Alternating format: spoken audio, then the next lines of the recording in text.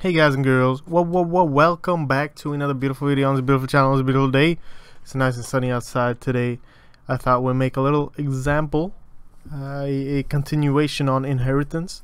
And uh, my voice is kind of weird today, so I apologize.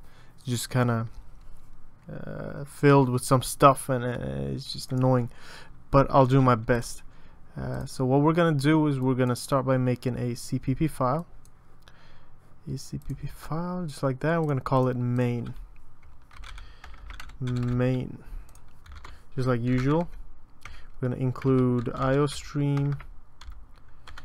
Iostream using namespace std main. Actually we'll move that std thingy uh, somewhere in a bit. Uh, system pause. Alright, so we have the baseline ready. So what we're gonna do today is we're gonna make we're gonna make uh, another type of inheritance here. Uh, let's see, into main. We're gonna do the same thing as last video, just that we're gonna do multiple. So we're gonna have one person class, a student, a teacher, a something else, and we're just gonna use several different ones and uh, for that we're gonna need a class a C++ class. We'll call it person just like that. And yeah person. And then you know actually what we'll do we'll do enemy. Or should we, no we should keep it we should keep person person. Just do person. Let's do person. You know why we're gonna do person? Because it's gonna be easier to comprehend everything. So let's keep our header files here and our CPP files here. So what we're going to do is we're going to be including person everywhere. So I'm just going to include, uh, whoops, namespace right in here, right in here. Uh, whoops, what the hell's going on? Alright, so there we go. We have a baseline. Now let's start off by making person complete. Now again, Pragma once, guys and girls, is just for Visual Studio. I'll say it again. I'll say it again. If you want to do this for Code::Blocks, I'm sure you know how to do it, so skip forward. But if you don't, then this is how you do it. If and def, and usually you write the file name. You can write whatever, as long as these two are the same. Uh, you want to do the end if right there. If not defined person, then we will define it. If it's not defined, then we'll define it person H and it is just a preprocessor directive. It's nothing special. It's just that if this isn't defined then we'll define this and we'll end the if. And you know this will only include you'll have to remove pragma once then but this will only be included once because it will define person if it's not defined. Uh, and yeah there you go. That's why that's why I use it. Again a little recap. But we'll use pragma once because we are in the Visual Studio. Now we'll do public and then private. Now what does a person have? Just like we used last time, we're going to be including string and we're going to have a private string name and a age Alright, no name and age and a telephone number or whatever. You can add as many things as you want. Uh, we'll be doing a string name int age constructor. And we'll take that constructor, the beautiful constructor, we'll put it in here. I will say this name equals name. This age equals age. Boom. Um, uh, T? What is a T? Where did the T come from? Oh no, never mind. Okay, we're good. Uh, it's just buggy. So there we go. Person is pretty much done. It's just we need public accessors. Accessors. So we're gonna do a const string get name const and say return this name. We'll do the same thing for our age. So get age. And then just change that to an int and say age right there. Boom. So we're good. Because when we inherit person or from person we will be getting these in our other class but we won't be able to access them because they're in the private of person. So what we're gonna have to do is that's why we made these so we can access them outside. Uh, and we're good. So we have a person class. Let's just go ahead. Now I, I said last video that I'd make this pure virtual and I show you how to do that. But first we'll try to make a person object. Uh, we'll include person person p1 and then say it's Bob and it's it's it's it's a thing no uh, Bob is 26 26 because it's cool it's cool like me no I'm 27 actually damn I'm getting old dude Bob is cool like me it's 27 uh, just my phone rang. Uh, never mind. Let's see. C out P1. No, P1 dot get name just to check it out. Just see if it's working. We'll use this C out thing later, so it won't be wasted. Uh, let's see. Maybe, just maybe, everything works like we want. Yep, Bob. Cool. And uh, we're good. So, what happens now? Well, we'll make another class called say we we're building a program and we're like okay well what do we need well we need a student just like we did in the last video person public inline alright so we made a class student now student is a type of person right student is a type of a person now, what do we need to do? There we go. Why is this complaining right now? Okay, alright, so that's why. Um, we need to call this in here every time. Because when you do a constructor for student, remember that student is a part and person is a part and they both combine into this this one object. So when you make a student object and it inherits from person, you're going to be making a person object and a student object together and they'll be set together in a way. So that's why you need to call the person constructor as well. To give it name and age because we'll be sending that in from here. String name string age and that's why you need to do this alright because these when you'll be using the student constructor you'll be giving a name and an age and that will in turn go into person and create the person object first and then go in here and take care of everything specific to student. Uh, so let's just go into student at. Let's fix this constructor because everything in person is basically done right now. We'll go ahead and, and, and do pure virtual in a bit. And uh, and yeah, so there we go. Name or actually, you know what we'll do?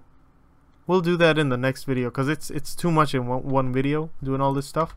But uh, but yeah, here we go. So person name and age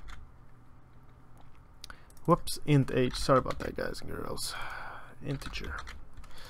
Integer. So, what does student have that a regular person doesn't have? Well, a student might have a integer student ID, like we had last time. And a student might also have a, what can they have? A, um, so student ID and for example, come on give me some ideas. Credits or something. And credits. All right?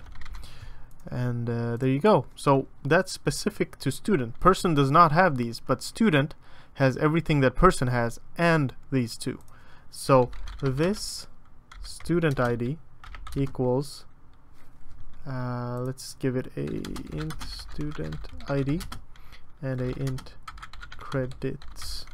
So that's our student.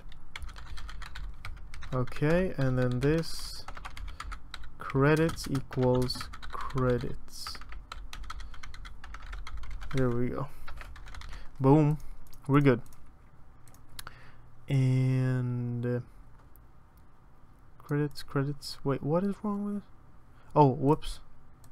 I always screw up in some way. There we go. So we're good. Now we have a student constructor and our things are initialized. And uh, we would want to maybe have a function which gets because student already has get name and get age so we don't have to do those.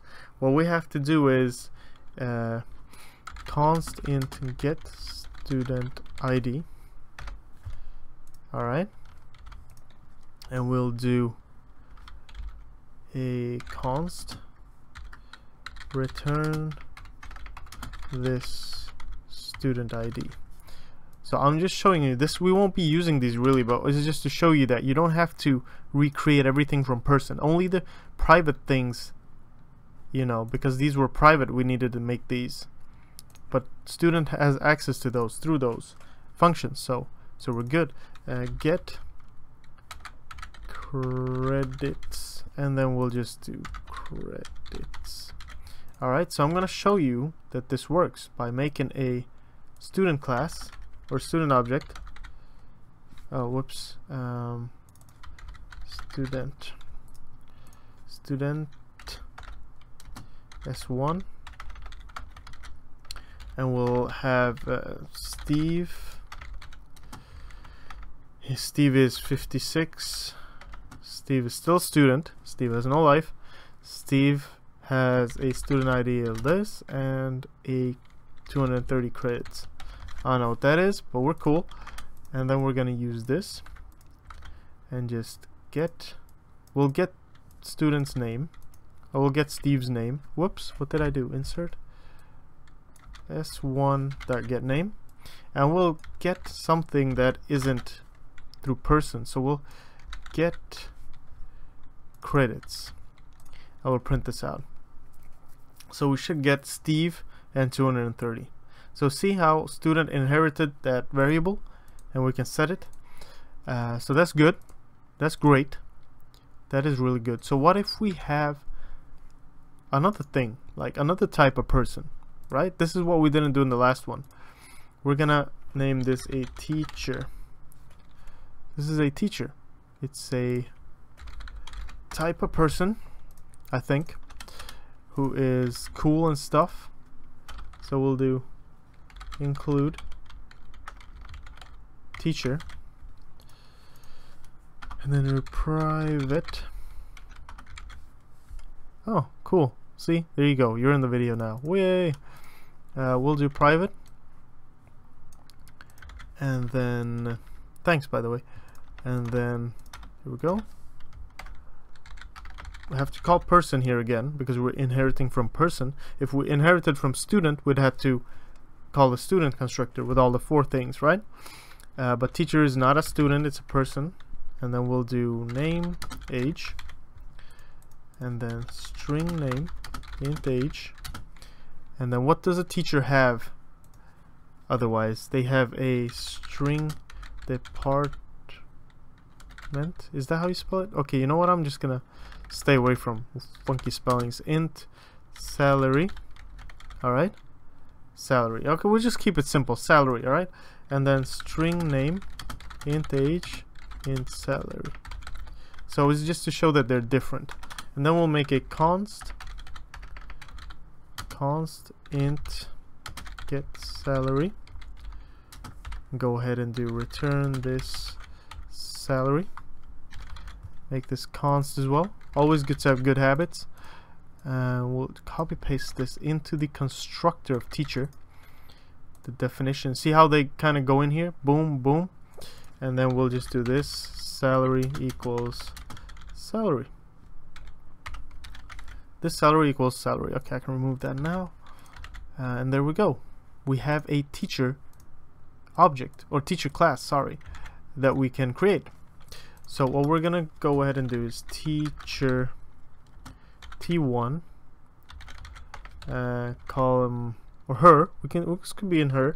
Uh, Eve is is 20 25 okay I don't even know what I'm doing. 25 a new teacher then what we have is a salary of maybe 20 200 no $2,000 whatever. I don't know. That's a shitty salary but we're cool. Alright 3,000 because we're nice. Alright and we have a teacher. We're gonna do copy this go ahead in here replace this and then get salary. Alright. And then I'm gonna show you guys something called polymorphism.